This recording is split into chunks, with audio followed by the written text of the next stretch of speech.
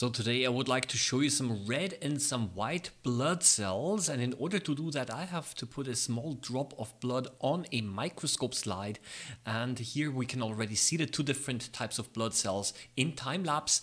In the center you see a white blood cell crawling around and trying to hunt for bacteria. They are responsible for removing pathogens.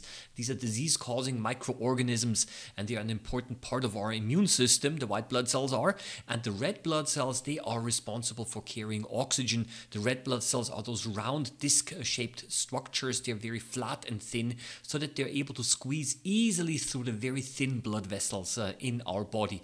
And here we can see both of them beautifully next to each other.